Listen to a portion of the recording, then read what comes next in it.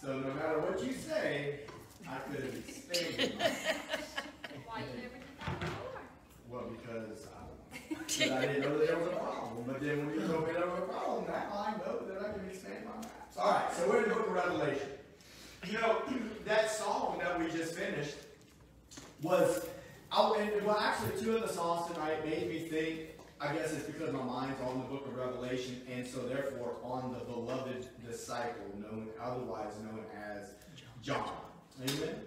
John wrote the Gospel of John. He wrote First, Second, and Third John, and he wrote the letter to the seven churches known as the Book of Revelation. The the script, the psalm where it was talking about, I want to sit at your feet, drink from the cup in your hand, lay my head on your chest, and feel your heartbeat. The reason that I thought of John was because that sounds like the story that we read in the Gospels of John.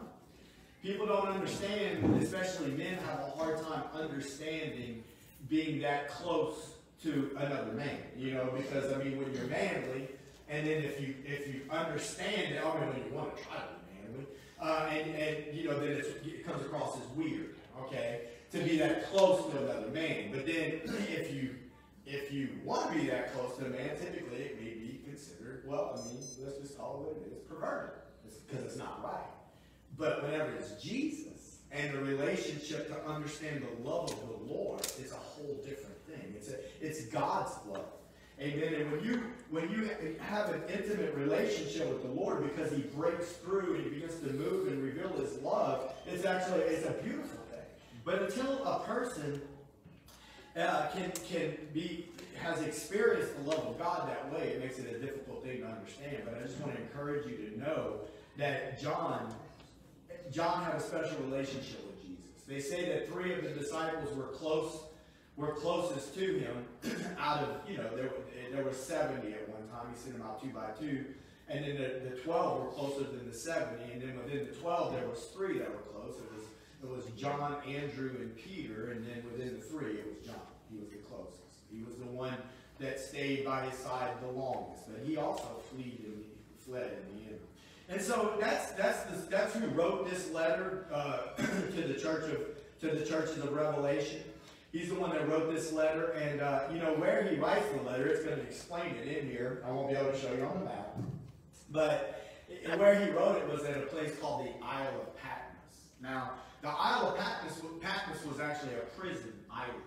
Okay, so John, the beloved, the disciple known as John the beloved, was exiled to a island. Okay, I still got my I still got my chalk and I still got my chalkboard. So what I will do is I will try to write you a big old map so that you can see it. And so this is Israel. This is the Mediterranean Sea, and this would be Asia Minor would look something like this, and then we come down to Greece like this. And so here we have uh, the Aegean Sea over this way.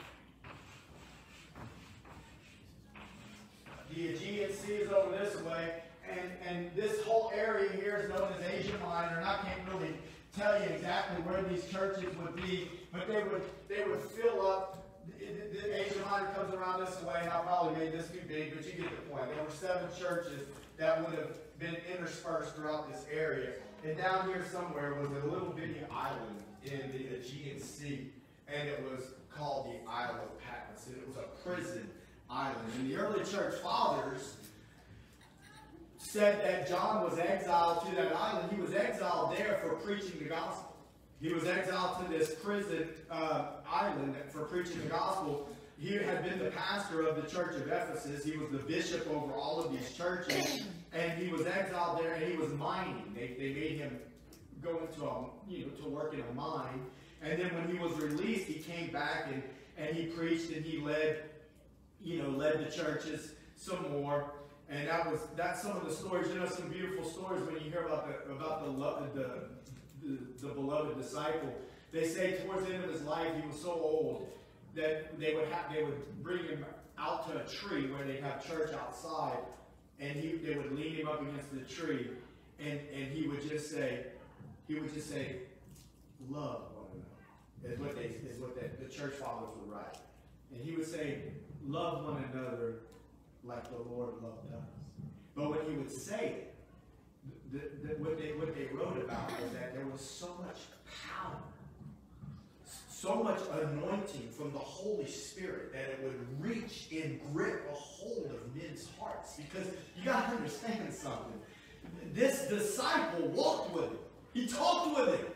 And, and he, he took the time to really listen to what it was that he was saying. And he learned from the Lord. And they say that when he said those words, it was just so powerful. So I want you to know that, that you know, he was exiled on this island. And so let's go ahead and get started. And we'll start reading in verse 1. It says, The revelation of Jesus Christ which God gave unto him. The first thing that I want you to understand when it comes to the book of Revelation is that this revelation is. Do you ever hear some kind of weird sound? They're oh, drumming. Oh, there's, there's drumming. I thought it was the vibrations from me talking. No, I think they're like Okay, drumming. That, that's fine. That's all. She, she's always trying to help me. Yeah, most of the time she does. That's all. That's- So, it is. So he says, look at this. The revelation of Jesus Christ. Well, first off, I look. It's going to be a verse by verse study. We're going to, we're going to kind of go through the book of Revelation pretty pretty slow. We're going to take it verse by verse, but I'm going to try not to overdo it. But I want you to know that the word revelation by itself, I know I've already explained it before, but the word in the Greek is apocalypsis or apocalypsis is where we get the word apocalypse from. Now, many times when we hear the word apocalypse, I don't know if you're a word person, I am. You think of catastrophe. You think of you think of war. You think of chaos and, and trouble. And yes, there's that element to it, but the literal meaning of the word means an unveiling. It means to show something that was previously covered. So sometimes things are obscured and then they're uncovered. So the word revelation, that's where we get the word revelation. Lord, give me revelation. Let me see. Amen. So that's really what we're talking. We're talking about the revelation of Jesus Christ here. And so what I want you to understand is, is this, is that right now you and I have a revelation of Jesus Christ. Amen. You wouldn't be here tonight if you didn't have some sort of a revelation of Jesus Christ. We might, some of us might have a little more by the grace of God revelation, but we all, to some extent, have revelation. Amen. What this book is talking about is talking about the truth and the fact that, guess what? One day, even in this chapter, if I'm not mistaken, it says it, one day every eye will see him. So I want you to know that sometimes whenever you are being a witness for the Lord and you're talking to certain people and they're not getting it and they don't agree with you, you know what? The Lord has called us to be light in the midst of darkness. I uh-huh. got to tell you though, that one day all the guesswork's going to be over. It's going to be, he's going to be unveiled. The world will know that this story was true. You, you understand what I'm trying to get at? That you're, and hopefully you're a disciple tonight. I believe that most of the time people on Wednesday nights are trying to be a disciple, which means to be a learner of Christ, which is different than a church goer. And I'm not picking on church goers, they're just in a different place than a disciple. Amen. And as you become a disciple and a learner of Christ, and you get more and more revelation, and you try to tell others about it. But I'm here to tell you that there's going to come a day when all the guesswork's going to be out, and all those that scoffed and laughed and did not believe, it, it, it's going to be too late. And the book of Revelation is talking about that. It's talking about this is the great unveiling. This is that last seven year period that we talked about when we were in Daniel. You remember that? Whenever I broke down all those numbers and it'll probably put you to sleep. But now that we've covered it, we can talk fluently about it. Daniel chapter 9. The, the, the, angel Gabriel came and said, Daniel, from the beginning when you started to pray, your prayers were heard, but the prince of Persia restrained me. And, and guess what? There are 77s determined upon your people. 70 Seven year period is determined upon your people. And when you calculate it out, it equals 490 years. And the 490 years started whenever the king of Persia told them that they could go back and rebuild the city of Jerusalem. He says, from that time until the cutting off of Messiah was the first portion, that was 483 years. That means there's a seven year period left. Seven year period, an outlier that has not been reached, that has not been accomplished because we've been in the midst of the church age. And then with, the, then, then with the stroke of a pen, we've already talked about this, the Antichrist is going to sign a covenant with many, talking about Israel. And when he signs that covenant, that is what the act that begins that last seven year period stops. And some people say it's the rapture. No, no, it's not. That's right. It's the Daniel chapter 9 when they signs the covenant is what begins the last seven year period that we're waiting to see, which opens up when the first seal will also be opened up at that point in time, and the Antichrist will rise to power, and he will begin his process of deception that's all preparing the way in order for Jesus to come back and to make things right. And it says in the middle of that seven, that Antichrist is going to break that covenant. So that's what we're talking about when we're saying the revelation of Jesus Christ, which God gave to him. See, God the Father gave the revelation to Jesus. It's Jesus' revelation. It's the unveiling of Jesus. Not, I'm not talking about the one that was born as a baby wrapped in swaddling clothes in a manger. I'm not talking about the one that was a carpenter's son in, in his earthly role. I'm not talking about the one that, that humbly received a crown of thorns upon his head and, and allowed Roman soldiers to blindfold him and to slap him and to pull the beard out and to strike him with, with a stick on his head and to say, Now that you're blindfolded, prophesy who it is that strikes you, son of man, dressed in your royal regalia with your purple robe on and your little crown of thorns. Go ahead. Go ahead and, and, and you know, tell us who it is that strikes you. No, that's not the Jesus I'm talking about. I'm talking about the resurrected. I'm talking about the one that's coming back on a white horse. Amen. Not to be confused with the first one that's coming on a white horse. Jesus is coming back at the end. He's coming back to destroy the faker. All right? And that's the revelation. But God the Father gave the understanding to Jesus. And look, and it's going to go on to say the reason why he gave it to him was in verse 1 to show it to his servants. Now, I want to focus on that word servant for a second. I think once we get through some of these words that I wanted to point out tonight, we're going to get moving. Okay? I want you to know the word servant is doulos. In the Greek, that means a bond slave. Now, I want you to know that a Greek slave was a little bit different than a Hebrew slave. But I believe that the truth lies to both of them. All right, I'm not going to even go on to the year of Jubilee and whenever the bond slave was released in the book of Exodus. We're not going to spend a lot of time on that. But what I do want you to know is is that the Roman type slave of what this is talking about when it speaks of a bond slave, it comes from the word bound, a bound man. So what does it mean to be bound? It means it means to to belong to another. See, and one of the things that I want you to know is this: the Scripture says, in Paul wrote in Corinthians that you are not your own, that you were bought with a price. Amen. And the Scripture says you were not your own; you were bought with a price. 1 Peter 1.18 says, see, Paul said that in Corinthians, but what, what Peter says in 1 Corinthians, I mean 1 Peter 1.18 is this, is that you were not redeemed, which means to be purchased.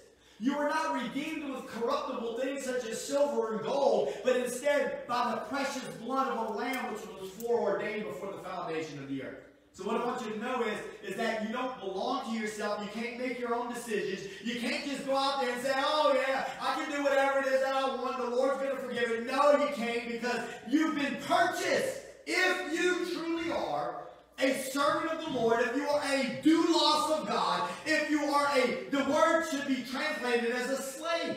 The New King James translates it that way. Some of the newer translations, listen, you if you are a slave of the Lord, I ain't gonna be no man's slave. Well, you, you, you, but will you be God's slave? Will you willingly submit your life to the Lord? Because I can tell you this. I learned this, some of this the hard way.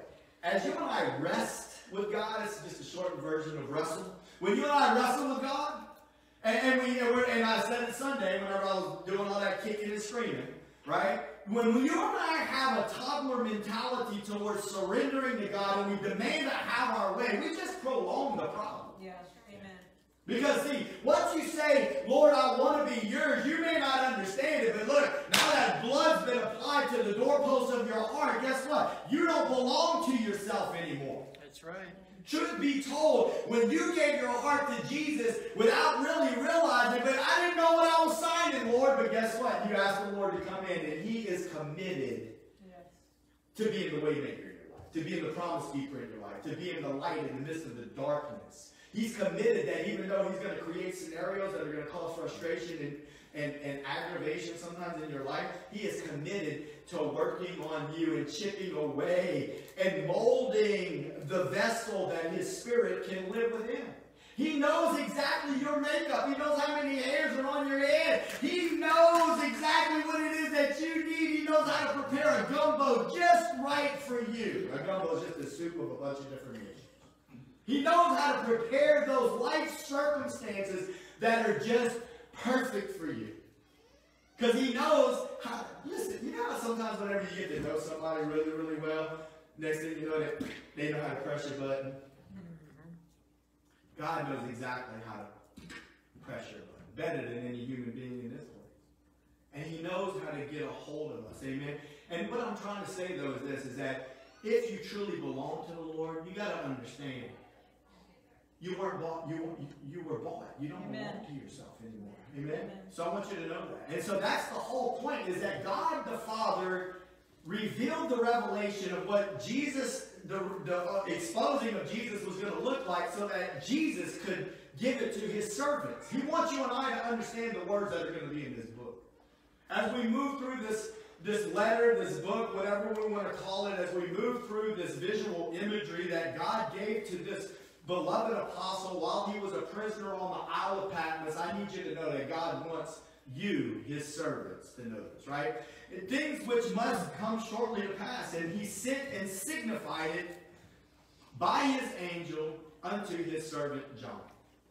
Now, you know, this is a I, I, I probably look at these things too closely and get a little deep. People are probably like, man, just move forward. But, uh, you know, look at this. I mean, signified it by his angel unto his servant John. I mean, it's like, you know, people say, I mean, he can I don't think he can really prove this, you know, but everybody's got an angel.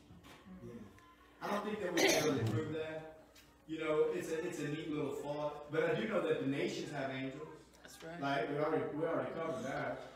I do know that Michael's the archangel of Israel, but right here it's saying that Jesus, Jesus has an angel. Jesus has an angel that, and you know, I know that a bunch of angels ministered to him when he was tempted of the devil in the wilderness. But look, the angel sent it to his servant John while he was in prison on the Isle of Patmos so that he would have the understanding and of this so that you and I, who are the servants or slaves of the Lord, could receive this truth.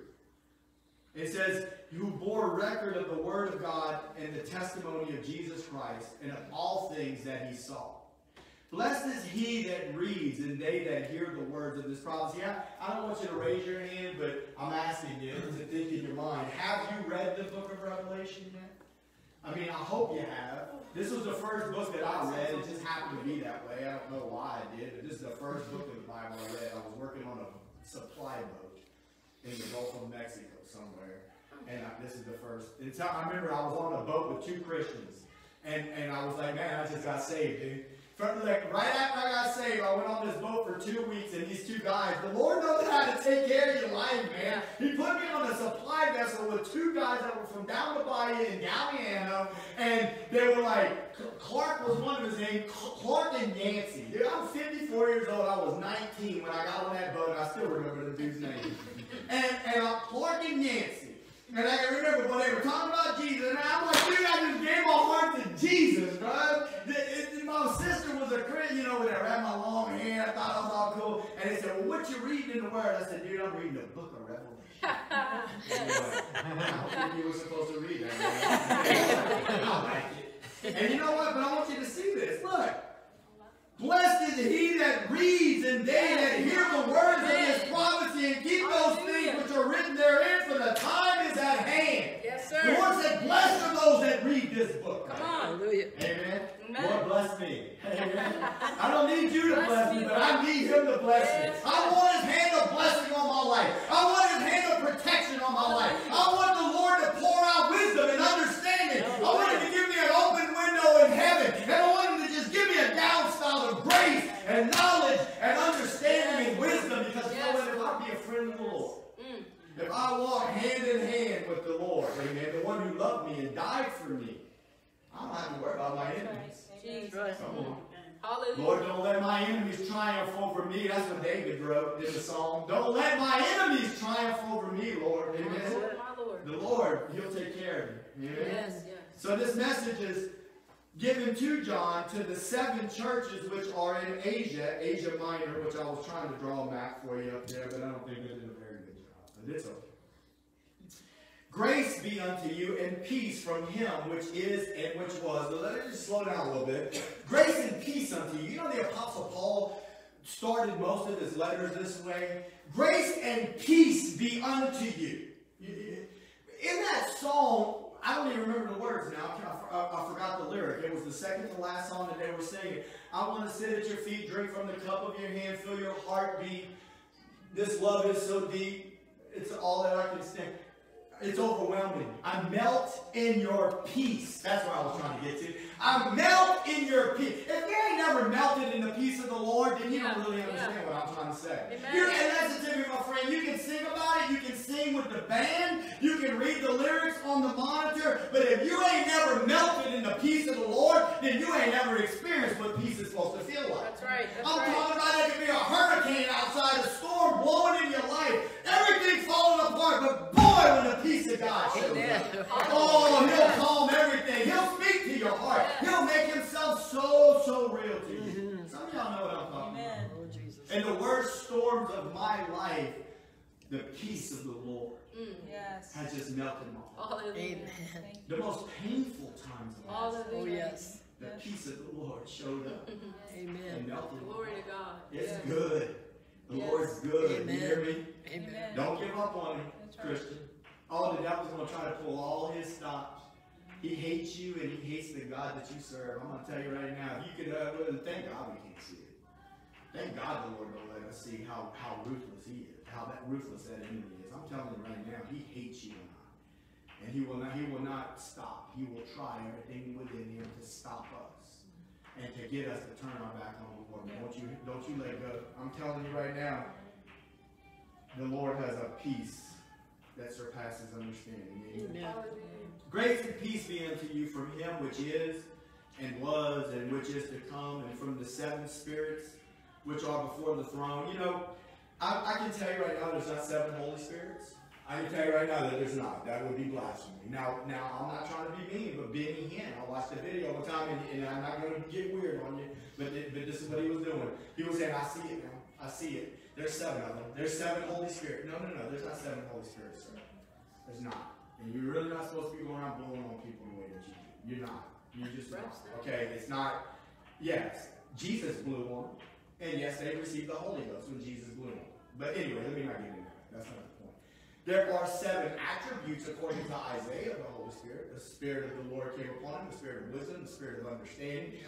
The number seven is the number of fulfillment. It was on the seventh day that God the seventh day was the Sabbath. The Sabbath means the day of rest. Jesus is ultimately the fulfillment of our rest. I'm here to tell you that the Holy Spirit is wants to bring about a fulfillment. Amen. And the work that he does will continue to bring us to a place of fulfillment until he comes back for us. Amen. And he turns this corruptible. I'm sorry, this this yes, this corruptible into incorruption. Amen. Before his throne. And from Jesus Christ who is the faithful witness. Well, I like that right there too. I'm, I'm, I promise you I'm going to keep going in a second. But, you know, the faithful witness. Amen? I don't know if that hits you or not, but it hits me. He's the faithful witness. I we got to tell you now is that I'm, that I'm the faithful witness. But guess what? As much as I love Jesus and as much as I want through his grace and understand that I want to be the faithful witness, I can tell you right now, I've failed the Lord. Amen. And if you think you ain't failed the Lord, then you already ain't the faithful witness. Lord, I, I want to be, I want to emulate my Jesus, and I can't do it without your help, That's Lord. Right. Amen. Yeah. But he was the faithful witness. And you know that word witness is where we get the word martyr from. That's where the word martyr comes from. Now, the word martyr literally does mean one that will give his life to the point of death. You know how much scripture we sing tonight? We sing a lot of scripture. When you get to Revelation 5, you will see they overcame him. How did they overcame him? Who are, first of all, who are they overcoming? Then the song said. Huh? The enemy. The enemy. They overcame him. The devil. The lion dragon. They overcame him by the blood of the Lamb, the word of their testimony, and they loved not their own lives even unto death, emulating the life of their faithful witness the King of Kings, the Lord of Lords, he was faithful until the end. He never quit. He never gave up. Sometimes whenever I feel tired and I feel like giving up, guess what? I just I try to remember. I remember Jesus, and I, yeah, I was offshore one time. I, I need to hustle up, but I was offshore one time witnessing to this dude. This was before the war got hold of me. This was my second job in the world and I was talking about Jesus, man. I was up there. I used to dip. I had that dip in my lip. And I was like, man, look, dude, I used to do this, this, this, and this, and Jesus changed me, man. And this guy was, this guy was rowdy. Okay. I mean, rowdy according to my standards. And one day he said, What about that dip in your lip? You over there preaching? What about that dip in your lip? I was like, Man, it's hard. Bro. He said, Yeah, I bet it was hard when old Jesus was carrying that cross up down here. Mm. Oh, I couldn't sleep that night. You know, but he knew because see, I didn't realize that the Lord had already tried to touch him and had ministered to him. You know, that's kind of sad. I don't.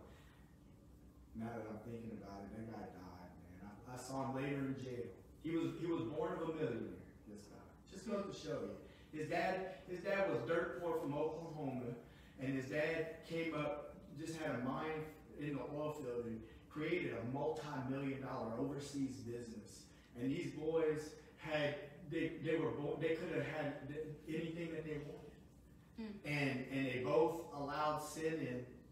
And I worked with him one time offshore and then I saw him again when I was going to the jail to minister Jesus. Dude, I'll never forget the first day I walked up in that jail. But anyway, that's another story.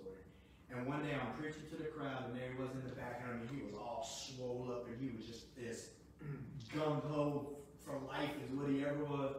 I even sent him a, an expositor's Bible, and I wrote him one time. And then when he got out, he went straight back to drugs, and his brother ended up shooting him in the chest. Sad, man. It just goes to show you it goes to show you a life when you never know an encounter that you're going to end up having right, with right. someone, and you never know the choices that we make and the detours that our lives can take. But anyway, I was just trying to say he's the faithful witness. He's faithful, amen. Amen. Amen. And he gave his life.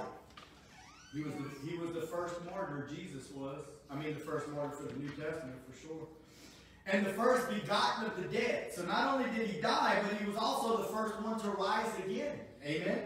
The first begotten of the dead, because he is the resurrection and the life. Yes. Amen. Yes. That's what he told the sisters. You remember the sisters, Martha and Mary. Can't remember which one exactly it was, but he told her, he said, I am the resurrection and the life.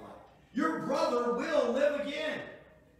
And, and it says, the dead and the prince of the kings of the earth. You know, whenever I look at this today and real closely, it says, look, look at this. It says, from Jesus, who is the faithful martyr. Let's just go ahead and say it. He's the faithful martyr, right? And he's the first begotten of the dead. So he died, he resurrected. Amen. And look at this. And he's the prince of the kings of the earth. This is talking about his first coming, his dying, his resurrection and the fact that he's coming back again. And when he comes back again, he's going to rule and reign on this earth. He is, he is the King of kings and the Lord of lords. Amen?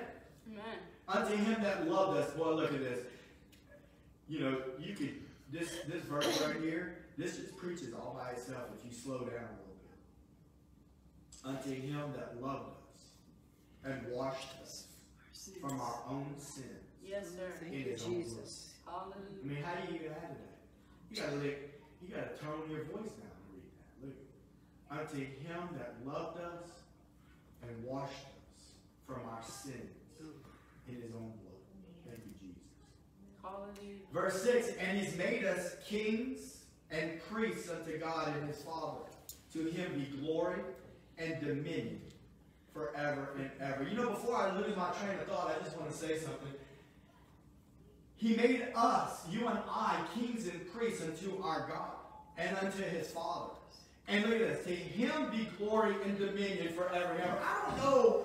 Amen. I don't know what other preachers, I mean, again, I'm not trying to, they got some good preachers out there. I realize that. And I hope whenever the Spirit of God is exposing the scriptures for the way that they're written, then we're all going to be on the same page. Yeah. But I can tell you that not all preachers that are standing behind pulpits have a revelation and an understanding that we're supposed to be building the kingdom and the dominion of Jesus. This is his kingdom. The Father gave it to Jesus, amen? And that's what we're supposed to be building. So Jesus is the one that's supposed to be exalted. Jesus is the one that's supposed to be praised. Jesus is the one that is supposed to be lived for and served and surrendered to and allow our life to be humbled in his presence. But look, he loves you and he has made you to be kings and priests. You can turn with me real quick to Revelation 5.10. Revelation 5.10. Look, look, look, he's going to go, he's going to say it again. And he has made us unto our God kings and priests, and we shall reign on the earth. So I don't know what your position or your station in life on earth has been in this temporary thing we call the vapor of life, but I can tell you right now, if you will serve him. I know you're not, you can't, you can't motivate people with fleshly gain because that's not. Because this is a spiritual thing. Because you can't see eternity. You can't see the celestial city with your physical eyes. But the more you, the close, the more I seek Him, the more I find Him. Yeah. The more I find Him, the more I love Him. The more you, the more you seek after the Lord, the more He exposes and allows you to see more of Him. The more you see of Him, because see He's working in your life, the more He reveals Himself to you that way, the more you're going to love Him. Yes. And when you begin to love Him on this earth, the more He's going to use you.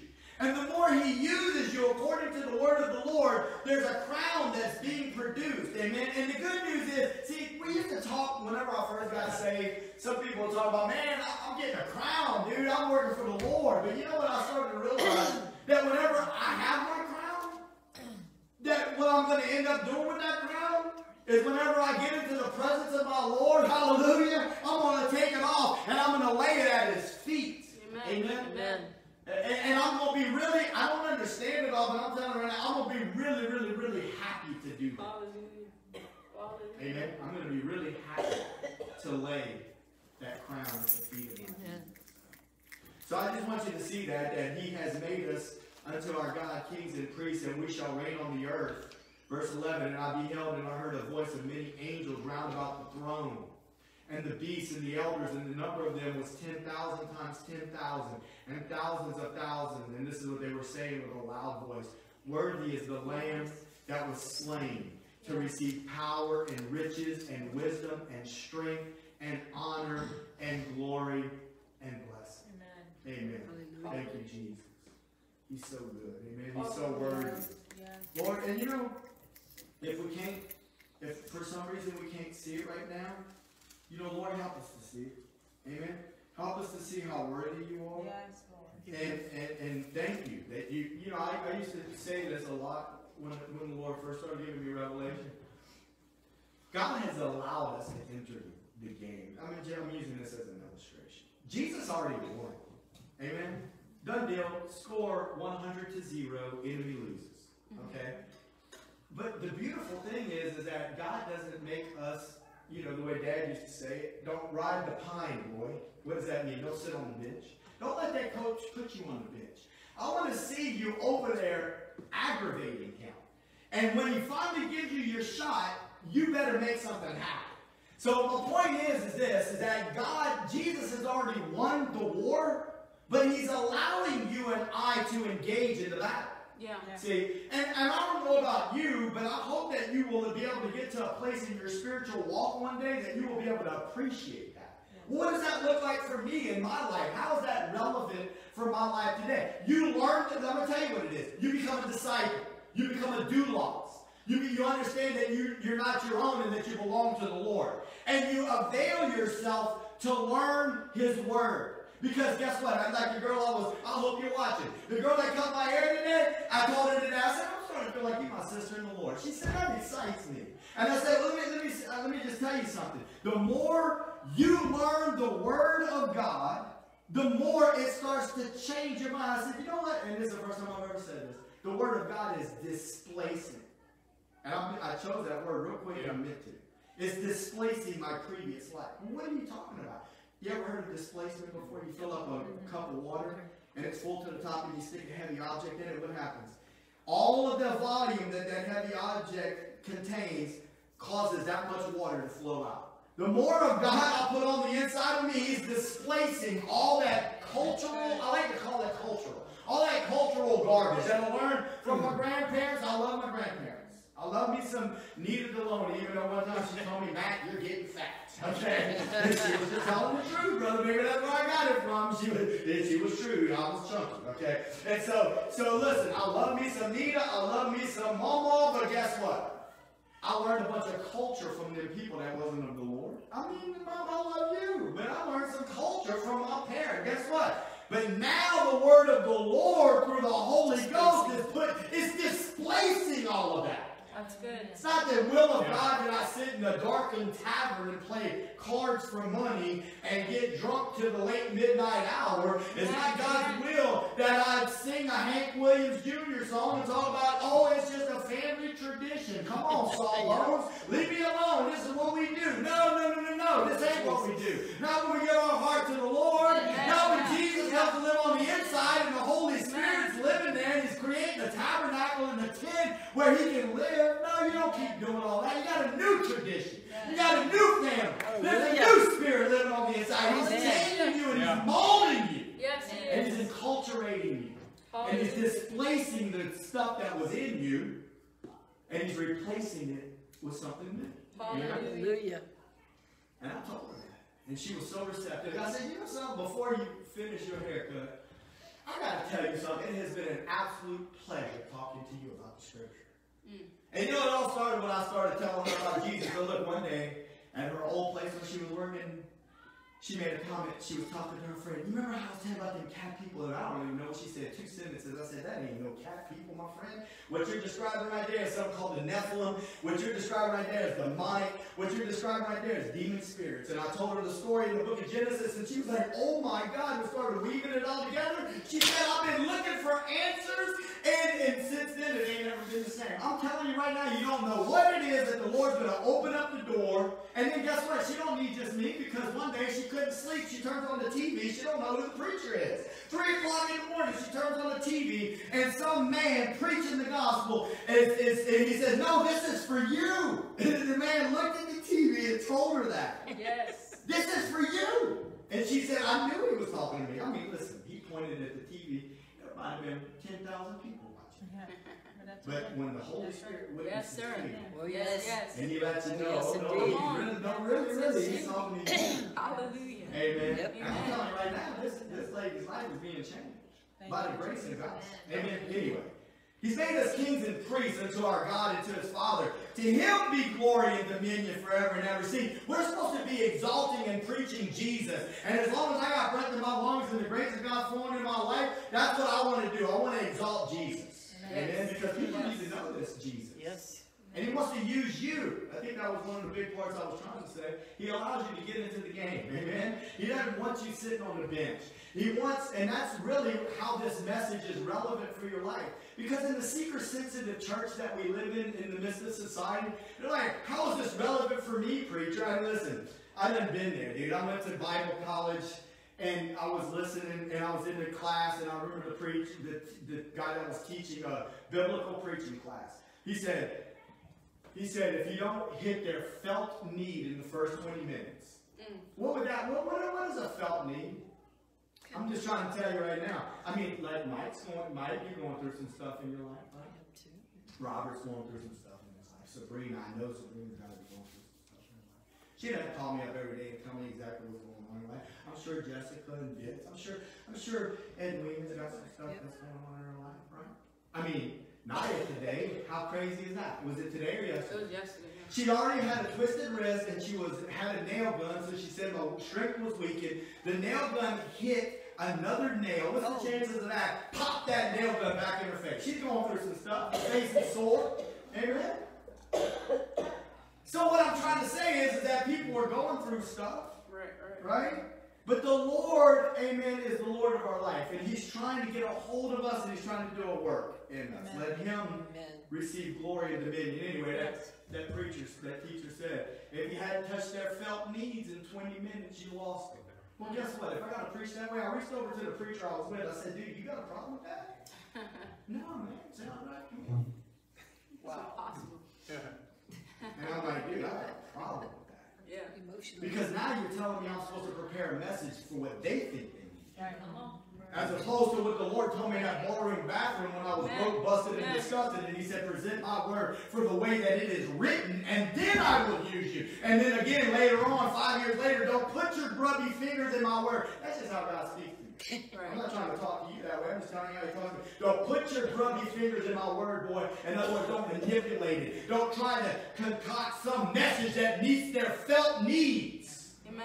No, speak to them through my word and let them hear my word and let me deal with their hearts. Most people can't handle that. Mm-hmm. Sometimes the preacher don't like that. Yeah. Come on, we're all in the same boat. Amen. Yes. He, he's Yes. working. He's still working on me. He'll make me sing that song. He's still working on me. Amen. All right. Behold, he comes with the clouds, and every eye shall see him. The revelation of Jesus Christ. The question's going to be answered, my friend. All the atheists, they won't be atheists anymore at that point. You get that? That's right. I, I some- you know, I'm not gonna say who, but I just got some disturbing news. Somebody called me up the other night and they said, "Hey, listen, there was a Bible professor of a well of a well-known Bible college. Now, whether or not this story is true, I haven't done the back work, and don't, but according to this person, he said this guy no longer is serving the Lord. He, I called him up the other day to ask him, and he told me, "No, dude, I am not serving the Lord anymore." Mm-hmm. He's so smart. And even talk according to this testimony. I tried to do a little bit of background re- research to see, and there seems to be some evidence that it could be true. I don't know it for sure. I wouldn't call his name out anyway. But what I'm trying to say is this: is that this dude got so smart that he called himself out. Wow. See, the Word of God says in Romans chapter 1 that, that their foolish hearts, that they, their wisdom made them become fools. Mm-hmm. It's one thing when the Lord gives you wisdom and intellect and you use it for His glory, amen, but whenever you start thinking that you're smarter than the Word of the Lord or you're smarter than the Lord and you're trying to figure stuff out at a whole other level, listen to me, and you start getting pompous and haughty, and even if the story's not true, it still is true. That's true. You're right. Because if you start responding that way, he will break you back. Yes, yes. Amen? So what did I do? I prayed for the dude. Because that's what we should do. I prayed for him again this morning. Amen. Amen. Lord, please protect me. Don't ever let me start thinking that I figured something out. Come on. I just want to figure out, I want to, I want to keep trying to figure out Jesus though. Mm. Because that's his will that I keep seeking. The more I seek him. It says, listen, every eye shall see him, and they also which pierced him. I want you to see this real quick. You can go to Zechariah chapter 12, verse 10. Zechariah 12, 10, Old Testament passage. Says, Every eye will see him, and also them that pierced him. This is the Lord speaking through the prophet Zechariah. And I will pour upon the house of David and upon the inhabitants of Jerusalem the spirit of grace and of supplication. Listen, this is going to happen in the end. And they shall look upon me. This is listen, this is Old Testament prophecy. Approximately, I haven't looked at the date in a while, but approximately 600 years before the birth of Jesus. And God is saying through the prophet Zechariah to his people of Israel that there's a day coming when I'm going to pour out my spirit of grace on the, on the inhabitants of Jerusalem, and they will look upon me whom they have pierced. And they will mourn for him as one that mourns for his only son. Boy, look, that's some powerful stuff. See, God, oh, God so loved the world that he sent his only begotten son. And six years before it was manifest, 600 years before it was manifest on the earth, God spoke to his people Israel to prepare them. To prepare them for the encounter that he would come. But yet they went to Pilate and they said, We can't do it. Would you help us crucify him? Essentially, is what they did. And they pierced him. They pierced the only begotten Son of God. But there's coming a day, see, just like you might not have been willing to t- buy in completely to Jesus at first, how long did it take for somebody to start witnessing to you before you would finally start to bend, right? Right, right. Oh, I don't know about all that. I don't know, but guess what? The Lord knows how to make that gumbo. He know how to make that gumbo. And finally, he gets you to the place where you say, Look at the one that I pierced.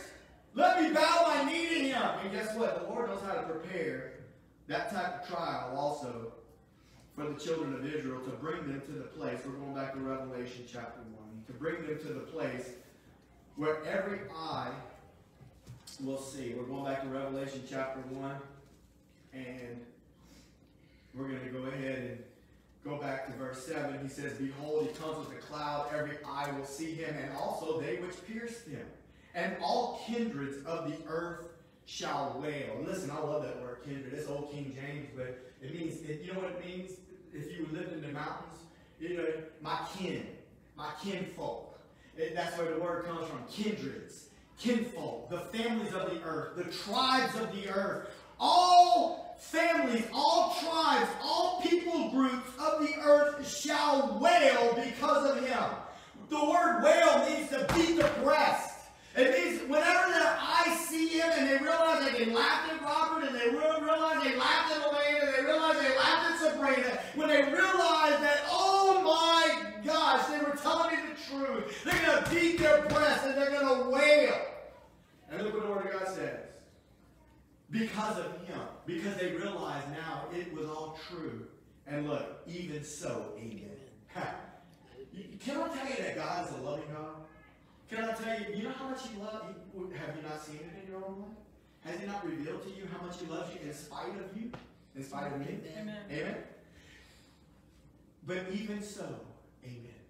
Because see, just as grace has been so prevalent in the world, and God has been so merciful and kind, even so, judgment will also happen. That's right. Amen.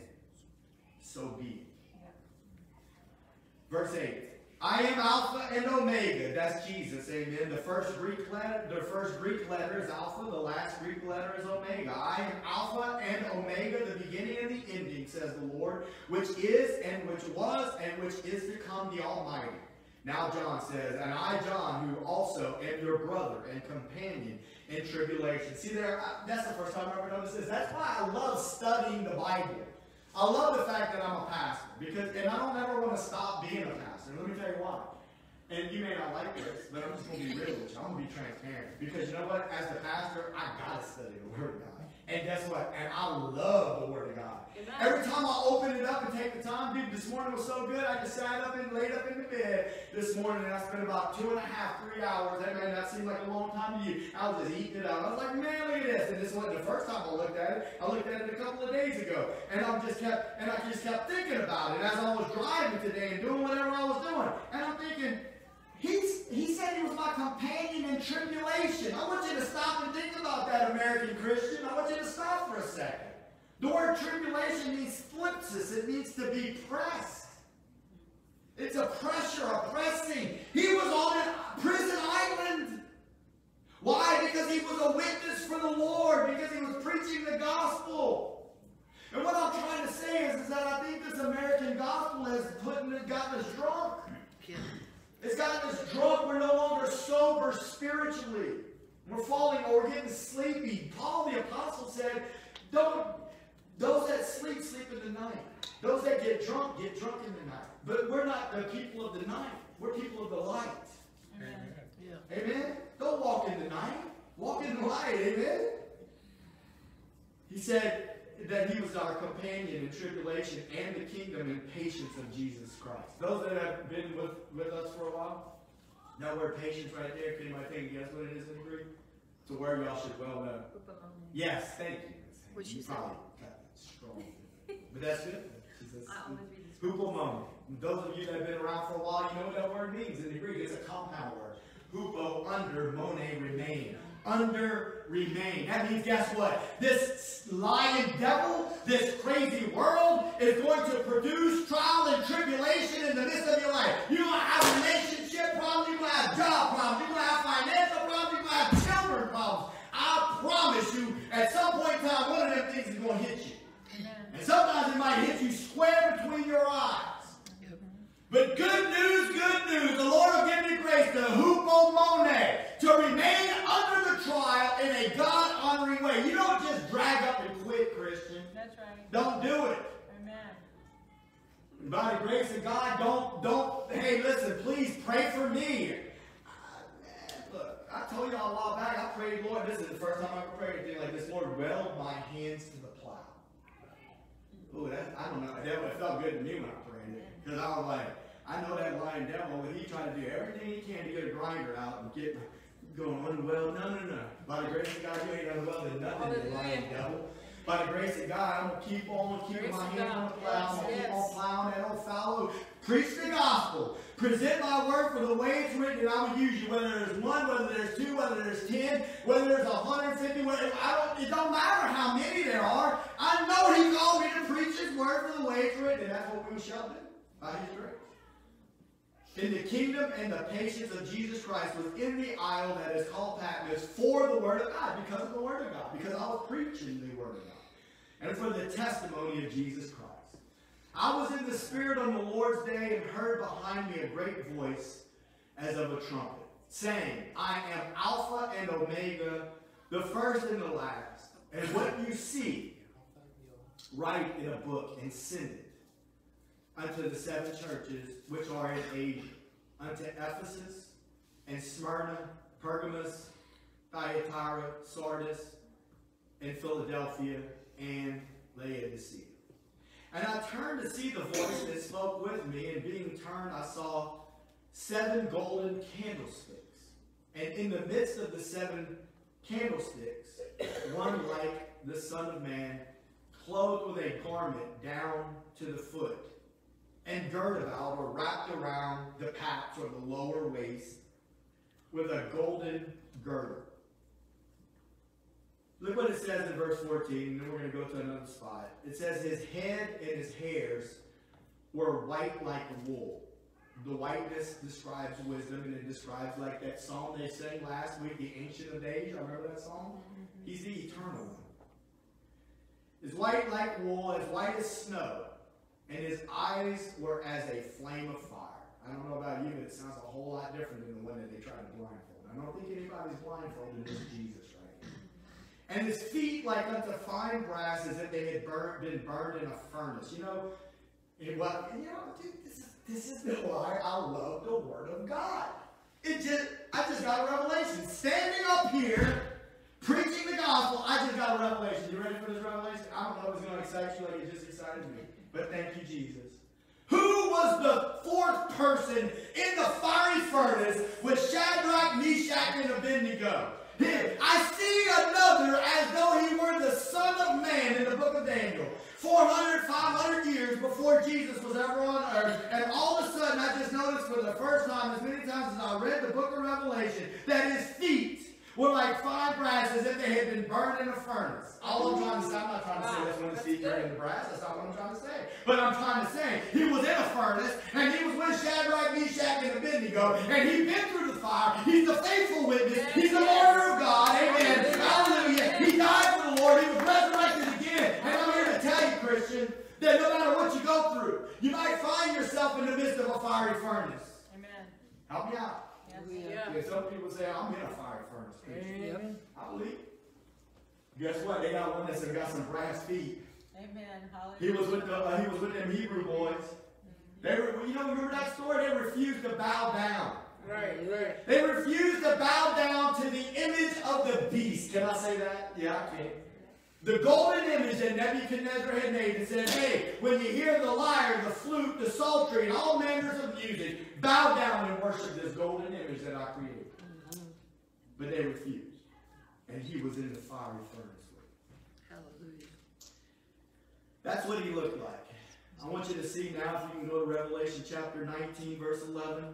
The reason that I want to, you know, I'll point this out, but when we, soon we will get into the churches and we'll finish up the churches and then we're going to get into the seals. When that first seal is open, I'm, I like to repetitively tell you things because the more I repeat, the more you understand, the more fluent I can talk. Amen? I mean, I believe that. I'm not trying to talk, act all big and bad. But listen, the Bible is a language. I, the Lord showed me that a long time ago. The love of God is foreign to this earth. First John chapter 3, verse 1, I believe it is.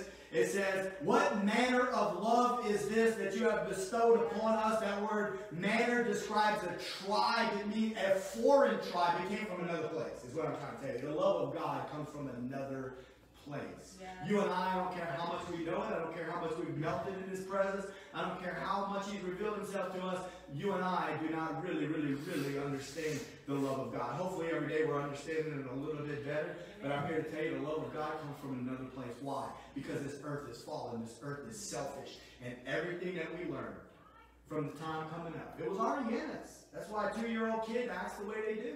It's already in them. You don't have to teach it to them. It's there. They're selfish. You and I are selfish in our hearts. Can I say that? Mm-hmm. Well, I'm gonna because it's true. Your old Adamic nature is selfish. Mm-hmm. Not only that, if you're not careful, your old your Adamic nature will try to rise up after you become a believer, and you will think that you're not selfish, and you will think that you've arrived. The Word of God says you ought not think more highly of yourself than what you should. Amen. It's not God's will. Amen. So look here, let- let's, let's stay focused. And I saw heaven open, and I be- behold a white horse. He that sat upon him was called faithful and true. Amen. See, this is Jesus. Now look, when we get to the seals, the first seal that opens, there's a rider on a white horse. He's a counterfeit. That's not the one. That's the fake one. He's the Antichrist. The first seal that opens up, and it says he was given a crown. What does that mean? God is going to allow him to have his moment. His last 3.5 years, three and a half years of tribulation will mimic and counterfeit the three and a half years of ministry that Jesus performed. Jesus is going to get a crown. The Antichrist is given a crown. He's given the ability to cause this trouble. But this is Jesus we're talking about. He's called faithful and true, and in righteousness he judges and makes war. His eyes were as a flame of fire, and on his head were many crowns. He had a name written that no man knew but he himself. He was clothed with a vesture dipped in blood. Think about that. His garment. It's, his garment is red, it's crimson. His royal, you know, the, the word about royal and, and, and, and purple it's kind of questionable when you really dig into it. It's almost like it was kind of like a crimsonish, purplish. And, and I'm just trying to say he's a king that was a shepherd that was slain, and his his his kingly vesture, whatever color it is, it, it says it's dipped in blood. His name is called the Word of God. And the armies which were in heaven followed him, and upon white horses clothed in fine linen, white and clean. And out of his mouth goes a sharp sword, that with it he should smite the nations. And he shall rule them with a rod of iron, and he treads the winepress of the fierceness and wrath of God Almighty. And he has on his vesture, his garment, and on his thigh a name written. And this is what it says King of Kings and Lord of Lords. Amen. Hallelujah. We're going back to Revelation 1. Verse 14, we shouldn't be too much longer. It says that his feet were like a fine brass as if they were burned in a furnace. Going to verse 16. And he had in his right hand seven stars, and out of his mouth, there goes, there was a sharp, two-edged sword. Now, I was thinking a lot about that word stars today. I don't really have time to, to break it down, but there's so much to that word. But anyway, let's just keep going. And his countenance was as the sun that shines in his strength. And when I saw him, I fell at his feet as dead. And he laid his right hand upon me, saying unto me, Fear not, I am the first and the last. I am he that lives and was dead, and behold, I am alive forevermore. Amen. Hallelujah. That's a good word right there, my friend, yes. because look, you you and I might see the grave. I mean, we don't know that the Lord, should the Lord tarry, you and I will see the grave. That's right. Amen? But because he rose, Yes. his word, he listen, I'm gonna tell you right now. Again, I can't remember if it was Martha or Mary. But she said, Lord, had you been here sooner, my brother would not be dead. She said, he said, he will rise again. And she said, I know he will in the end days. He, he, he said, no, she, he will resurrect. He said, don't you know that I am the resurrection and the life? Hallelujah. Yes. He that believed in, in me will never die, That's right. but he Hallelujah. will have eternal life. Yes, ma'am. It's Hallelujah. hard to wrap your brain around that, isn't it? I mean, no, really. I mean, whenever you look at this fallen world and you see the leaves turn brown, they're, they're going to be turning brown before long. We're going to get a. It's coming. And the leaves are going to start turning brown. And everything's going to look macabre. I think that's a fancy word for death the dark. And it's gonna be like an Edgar Allan Poe Yeah. novel. You'll be driving through the swamp and you can see everything death and dying. But I got good news for you. Everything is Hallelujah. that's just a symptom of where we are right now. That, that it's, this life is temporary. I need you to know that this life is temporary. Pain of life is temporary. I try the best that I can to try to explain it, but until the Lord gives us an anointing and helps us understand, we will try to live and focus so hard on trying to be happy in this temporary fallen world. And God will give you joy. He will give you joy and He will give you times of happiness. And you will see your child in that beautiful, innocent little face. And you will see other things that will happen. And He will give you victories. Amen. And there's going to be times, and listen, and whenever the more we try to walk in the will of the Lord by His grace, the more happy we will oftentimes be. But I got to tell you that this is a temporary place. Right. Amen. It's temporary, Phil. Amen. He says, Behold, I live alive forevermore. Amen. And I have the keys of hell and of death. You know, the keys of hell and of death. Keys describe authority. I mean, you don't just give anybody a key. I mean, the people that have a key to the church, it's because we trusted them in the church. There's probably a couple of keys out there. Did you ever change the lock? We probably got a couple of keys out there. But, but anyway, the point is, is that the keys describe authority. We trust, we trust.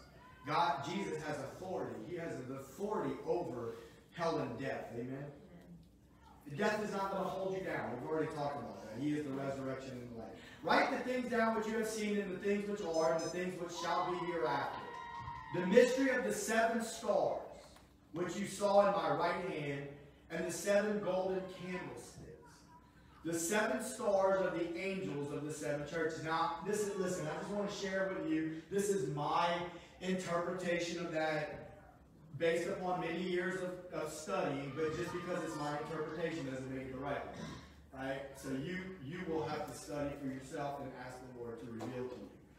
The word angel, though, I do want you to know in the in the Greek language, it's it's spelled like uh, it's two G's, it's angelos. The word angel can be translated as man. That's It can be translated as messenger. Yeah. It can be translated as angel. All right. Most scholars believe that this is talking about the pastors of the churches. Now, I mean, I got to tell you that I that I do agree to a big extent of that because the whole letter was written. The whole letter was coming from God the Father and being given to Jesus through His angel, and then it's given to John through the angel, and then John is given it to the servants of the Lord. So I do believe that there's a lot of truth to the fact that this word could also be translated to the pastors of the seven churches. But I also believe that there's a whole lot going on in the spiritual realm that you and I don't really completely understand. Amen?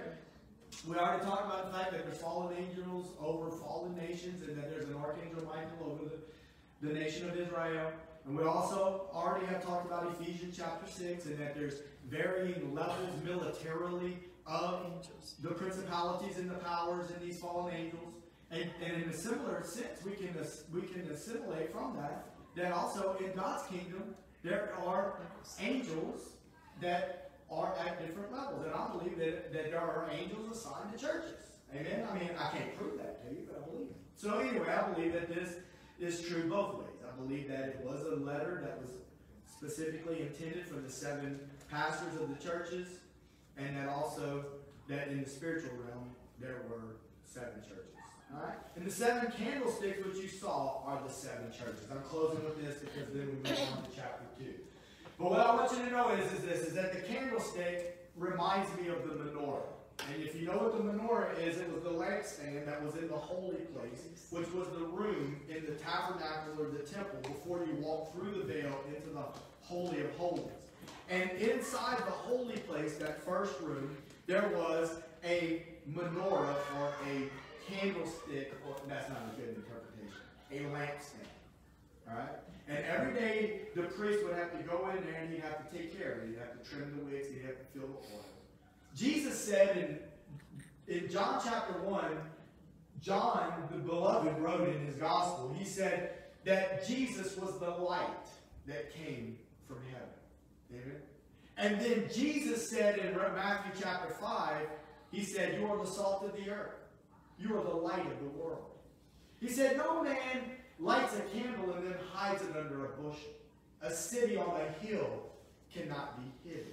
He said, Let your light shine before all men, that they might see your works and glorify your Father in heaven. What is my point? My point is, Jesus is the light. Jesus gave his light to the church. And in this passage of Scripture, the seven churches represent the light of God.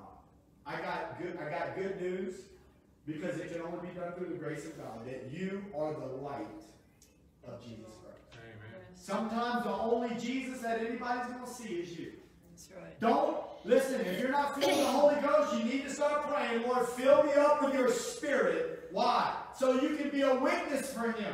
Because I'm telling you right now, my friend, you don't want to sit on the bench. But at the same time, let me say this: I've known a lot of people that aren't filled with that, are, that, that, that do not feel like they've received the baptism of the Holy Spirit. They tell a whole lot of people about Jesus. I just want you to know that. And hey, listen, I'm just thankful for people that tell people about Jesus. Amen. Let's pray. Father, in the name of Jesus, we want to thank you, Lord, for your word. Your word is beautiful. Your word is true. It reveals your heart to us, Lord. I pray that you would help all of us that would have watched this teaching tonight or have been part of this, Lord, that we would get the revelation of Jesus Christ that we need in our hearts and in our lives. Lord, I pray, Holy Spirit, that you would make us hungry for your presence, for your will, for your word, oh Lord God. That you would use us, Lord. We understand that we're in a temporary place. We're just pilgrims on a journey. Lord God, and, and there's an eternity to embrace where we'll receive a glorified body and we will reign as kings and priests with our Lord for a thousand years. Lord, that's what your word says. And you made us to be kings and priests because you purchased us with your blood from every tongue, tribe, and nation upon this earth. You've purchased mankind with your precious blood, Lord. So we no longer belong to ourselves. We belong to you. We're your property, Lord. We pray, Lord God, that you would give us an understanding of that. We pray, Lord, that you would help us through your grace to surrender to your will. And I pray for your people, Lord, that showed up tonight, those that will watch on video, that you will help them, Lord. That you will help them in their tribulations. That you will give them the patience, the hupomone, Lord God, the endurance that they need to never let go, to remain under, to hold on, to never quit. We give you glory and honor, Lord. In Jesus' name we pray. Amen. Amen. Praise God. We hit this up.